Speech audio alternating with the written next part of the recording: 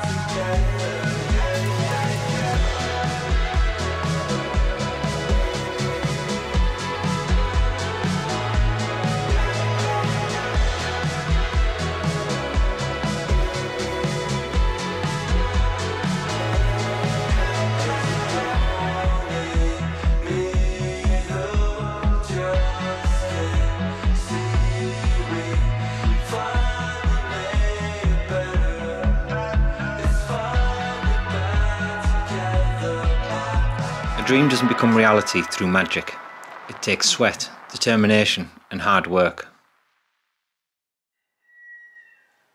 So now the 400 salon is almost complete within like obviously getting it all back together and sanded and prepped. The last thing that I need to get done is getting the decorative mouldings on the ceiling.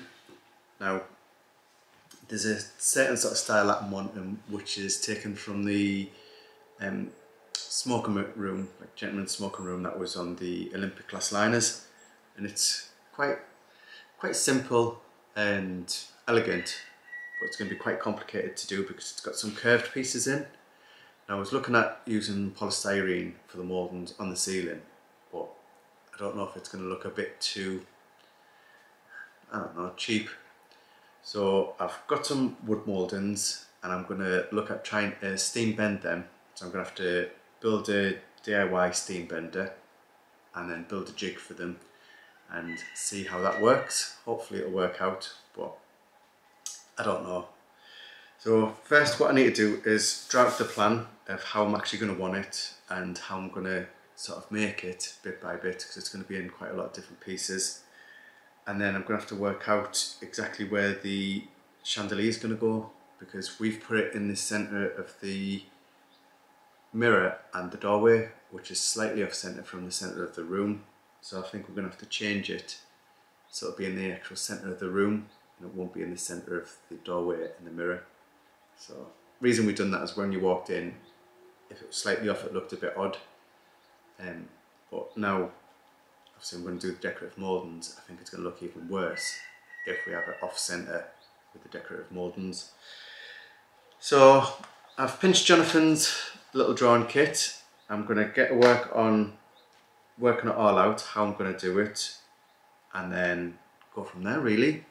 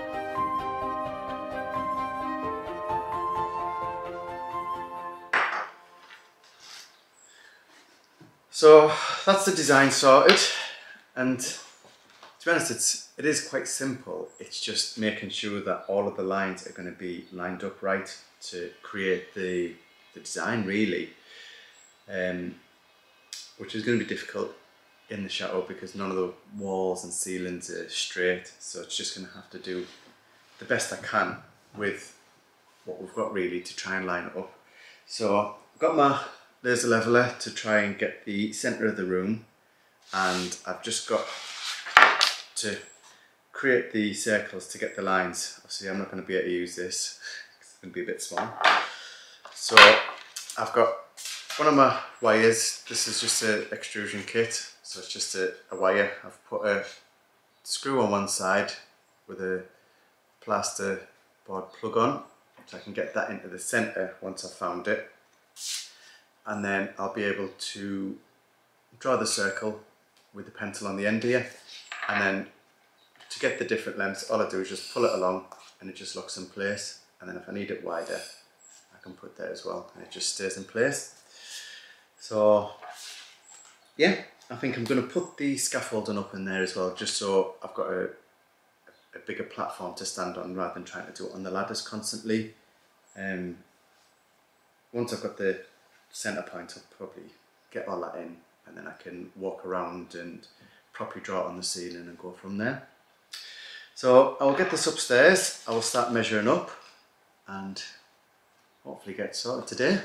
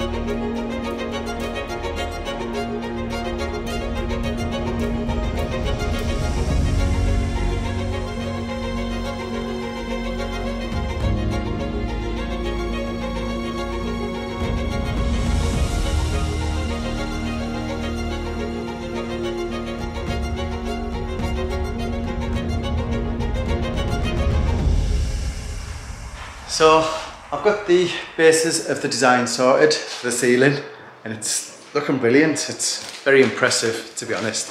Um, I'll take you up now so you can get a better idea. So where the wire come for the chandelier, we need to move it slightly over. It's only a few inches so it's not too bad. And where I've put the wire that I've been using to, to actually draw the lines, that's actually got into the main beam, which is good. So we know that that's right in the centre now for when we hang the chandelier. So the next thing to do is to start drawing the lines. So I'll show you on my plan what I need to do next and then link it all together and then at least I've got the bases got on the ceiling and then it's just looking at getting the wood cut down and getting it in place which isn't too bad but just looking at the size of it it's going to be so big and impressive. It's going to be amazing for the room. So I'll see if you can try and pick up some of it now on camera and I'll show you the actual design as well. So you can't really see that much of it on the ceiling. But obviously we've got this outer ring which is the very end and then we've got the one that's in from it. So two rings there and then we've got two rings there which go right the way around.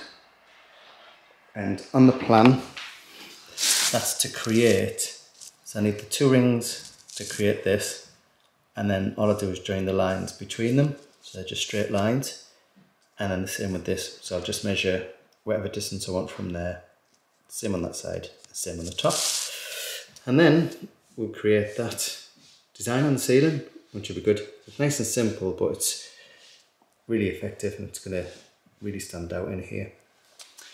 So that's that. I can crack on with the rest of that. Rob's still busy in here. And you Rob with the paneling? Hi. Yeah, so I'm working in the hallway now and we're sanding and filling cracks and more sanding and more filling. it is a long, slow process, isn't it? It but, is, yeah. yeah. So about 40 gallons later, we should be done. Um, so this is the start of it, and I'll move in one direction and keep going. Keep going, yeah. yeah. But even this one, like this was quite a big crack, wasn't it? Yeah, it had about a half inch crack in there. Yeah. So we filled it, um, padded it behind it, and then went ahead and filled it with wood hardener, and now I'll go over it with some uh, um, plaster. Yeah, just to smooth, smooth it out. Smooth it out, and then the paint and primer will take care of that. Yeah, yeah, so yeah. It should look it should look quite nice when it's done. Yeah, it'd be brilliant. And all we're doing for the, the big part where it's the big gaps, we're just using the two part filler, aren't we? Yeah, so the two part filler uh, yeah. for some of the big cracks. There, here, and uh, and then again sanding and plastering. Yeah, plastering. But yeah, it's good. Well, you've got a lot to do in here, Rob. 40 gallons of wood hardener. um, but no, so. we're getting there. Well, the salon's looking brilliant. Obviously, all of this is pretty much fillered, sanded now. Um, so that's why I need to get on with the ceiling. And then we can start looking at getting the stain on and the paint on, can we? Yes, correct, yeah. So yeah. that's just arrived, so that's exciting. Right. We've got the primer and the paint for that. And then it'll be almost sorted. Almost done. Floor and furniture then. Yes, uh, furniture. oh, ways to go yet. but yeah, right, well, I'll crack on with the ceiling and I'll let you crack on in the hallway. Thank you. See you in a bit.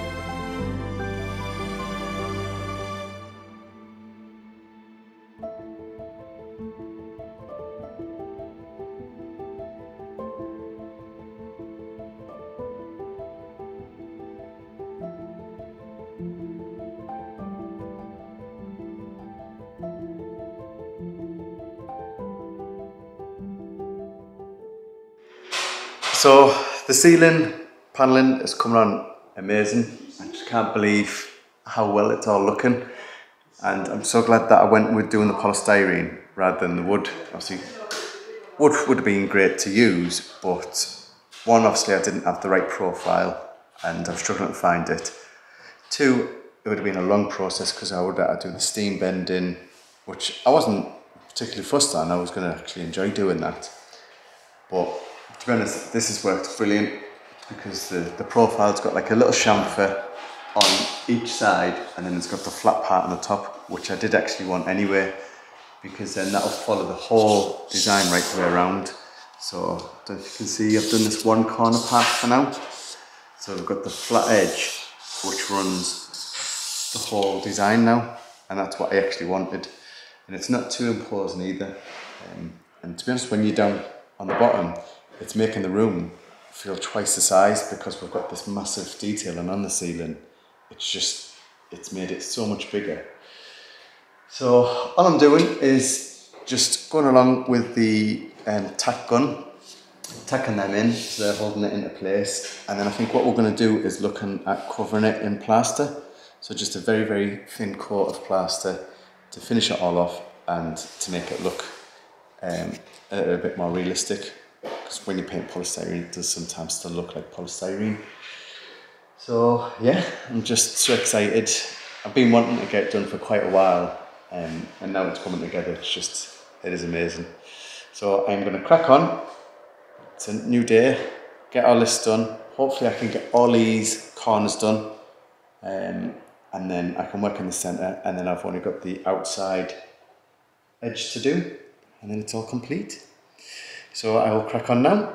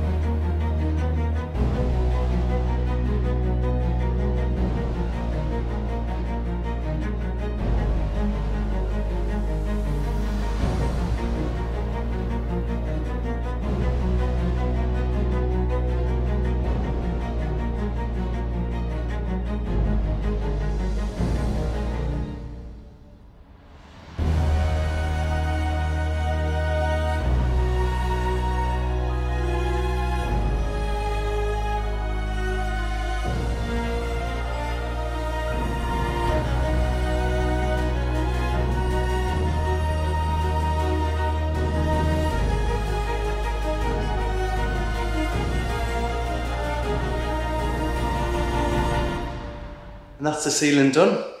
It looks absolutely amazing. I've even surprised myself with how good it was going to look. I knew it would have been good and it would have worked out well, but to be honest, it's worked out absolutely fantastic. Been quick and easy as well with me using polystyrene over doing the wood. So I was looking forward to actually doing the wood bending, to be honest, to see how it was going to go. But the only downside was going to be that I was going to have to cut every um, angle on a miter saw. So it would have been really time consuming and quite difficult to get every right angle where with the polystyrene I worked out a way where I could put it all up and I could get the perfect angle and then just score it with the Stanley blade and it just cut straight through it.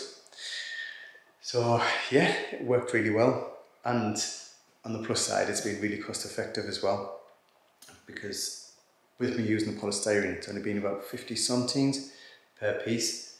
So all in all, this whole ceiling cost less than 40 euro to do with everything that we've got, which is just amazing. Because going with the wood, it would have been like three times the price, if not even more, to be honest. So yeah, obviously it's something that you could do as well. It's so easy and cost effective and simple and effective really getting it done. I haven't done anything really difficult to be honest. It's literally just putting polystyrene on the ceiling. I've used nail gun because I had it to hand and it was a lot easier so I could adjust any of the points while it was up. But you can just use stuff like no nails, stick it up and it'll stay up there and obviously it's nice and lightweight so it won't affect the ceiling with any extra weight on it. So yeah, just so pleased with it. Like I said, now this is done, I can move on to doing the one in the hallway and get that one done. That one won't be quite as elaborate as this one because um, we've got a ceiling rose to go on there. So it'll be a lot simpler and just work out from the centre.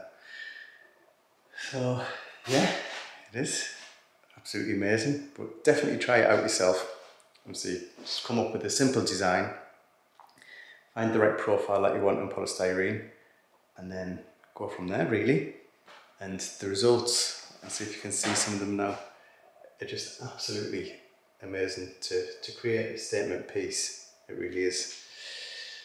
So I'll crack on now, but what I'll do first is I'll quickly show you how I actually cut the polystyrene because it made it so much easier for me while I was up there. So if you do plan on doing it, then doing this will be far easier for you. So this was the design that obviously I came up with and you can see it all on the ceiling now, how it's all worked out. And it looks brilliant. But because there was so many cuts on all of these, I found the best way to do it. So this was the polystyrene trim that I had, which you normally just put in a corner.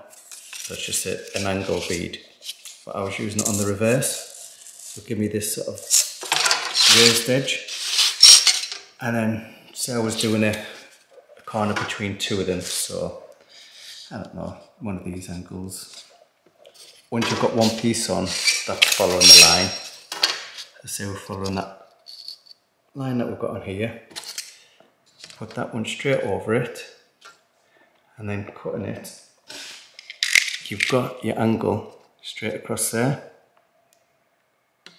So I'll cut that now and you can see what it would be like.